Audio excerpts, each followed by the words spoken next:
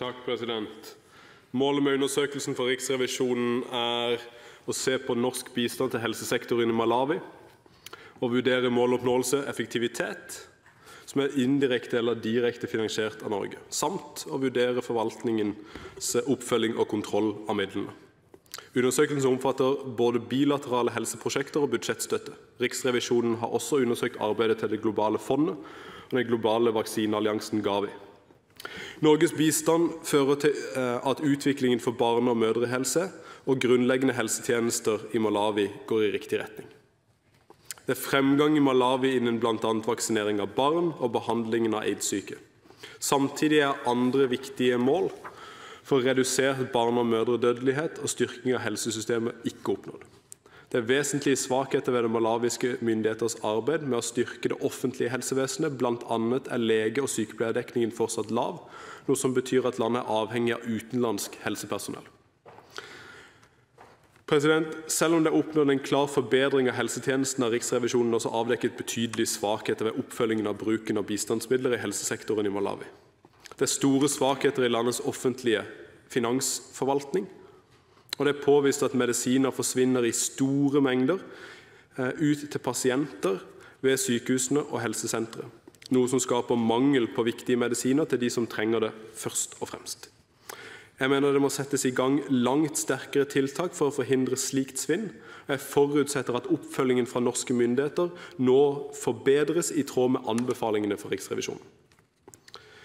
Norge er en av de største bidragsyterne til Malawi og har vært det, og har et ansvar for å påse at denne bistanden kommer frem til dem som trenger det, eh, og at det blir brukt etter forutsetningene. Høyre mener at Eh, Utenriksdepartementet må følge anbefalingene til Riksrevisjonen, og at norske bistandsmyndigheter sammen med andre givere bør sette i verk tiltak for økt tilgjengelighet av helsepersonell, medisiner og medisinsk utstyr. Dette må gjøres så raskt som mulig for å sikre at bistanden kommer hele befolkningen til gode. Det er dessverre slik at Malawi, som er et av verdens fattigste land, også har dårlig utbygd infrastruktur en meget svak forvaltning. Eh, dette eh, forsterker etter min mening behovet for at Utenriksdepartementet ser nærmere på muligheten for å følge opp at bistandsmidler til Malawi fremkommer i landets statsbudsjett og regnskap. Dette er viktig eh, for å redusere risikoen for korrupsjon og misligheter. Jeg viser for øvrig til at Riksrevisjonen stiller spørsmålstegn ved bruken av direkte budsjettstøtte til et land som Malawi, der revisjons- og kontrollordningene er svake. Jeg ser at i Aftenposten den 7. mars i år at utviklingsministeren er enig i at kontrollen er for svak, og at man vurderer å ansette en finanskontrollør ved ambassaden. President, Jeg ber om at utviklingsministeren eh, bekrefter at det nå har funnet sted, og at det er en ordning som fungerer. Eh, det er tross alt flere måneder i etterkant av løftet ble gitt. En stor del av den norske bistanden til Malawi har blitt gitt som budsjettstøtte. Svakheter som er avdekket i eh, landets finansforvaltning, fører til at det kreves tettere oppfølging av midlene fra givers side. Det er derfor viktig at Utenriksdepartementet gjennomgår og sikrer at praksis og retningslinjer er i samsvar med Stortingets forutsetninger, noe som også er anbefalt av Riksrevisjonen. La meg legge til at når det gjelder budsjettstøtte, bør det være noen klare kriterier som ligger til grunn. Parlamentarisk kontroll, gode kontrollmekanismer for å avdekke korrupsjon.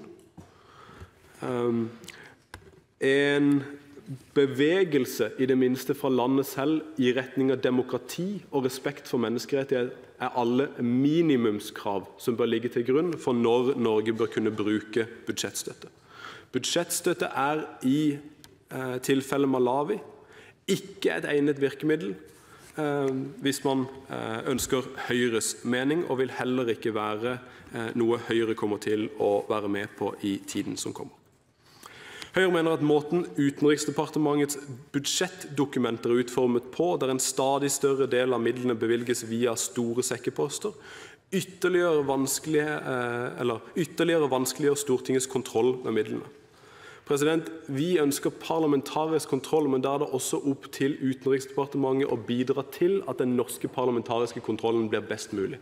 Måten Utenriksdepartementets og kanskje Forsvarsdepartementets budsjett eller budsjettering av budsjettdokumenter utformes, gjør denne kontrollen fra Stortinget svært vanskelig, noe det store antallet spørsmål eh, som reises i budsjettsammenheng, er et klar indikasjon på.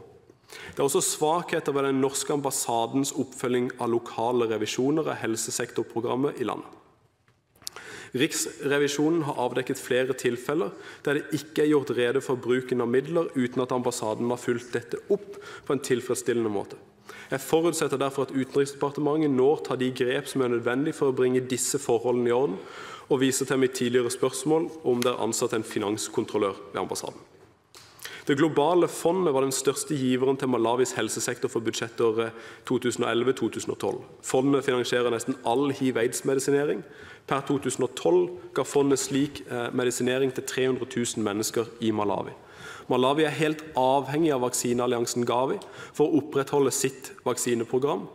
Og jeg mener Utenriksdepartementet bør påvirke de to fondene til å involvere myndighetene sterkere i arbeidet. Malawi vil ikke kunne ta over finansieringen på mange år, men Gavis vaksinestøtte er integrert i Malawis vaksineprogram. Til sammenligning distribuerer det globale eh, fondet aids- og malariamedisin gjennom andre parallelle systemer. Riksrevisjonen mener det er fullt mulig å synliggjøre midler for bl.a. Gavi og det globale fondet i helsesektorprogrammets budsjetter og regnskap.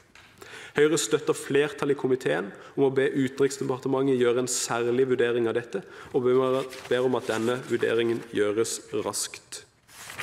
La meg gå tilbake igjen helt avslutningsvis til eh, Aftenpostens oppslag den 7. mars i år, hvor både utenriksministeren og utviklingsministeren eh, slår fast at undersøkelsen Riksrevisjonen har gjort av svinn og betegner dette som irrelevant, for Norge eh, en periode hadde stoppet helsestøtten til Malawi. President, Det er ikke riktig. Den undersøkelsen Riksrevisjonen har gjort, er høyst relevant. Det er Eh, norske leveranser i denne perioden hvor undersøkelsen har funnet sted, og det vil være relevant i forhold til norsk bistand, som i dag går til lignende institusjoner. Slik at jeg mener at eh, utviklingsministeren bør svare på det, om han da står på det som eh, er sitert i Aftenpostens artikkel fra mars i år.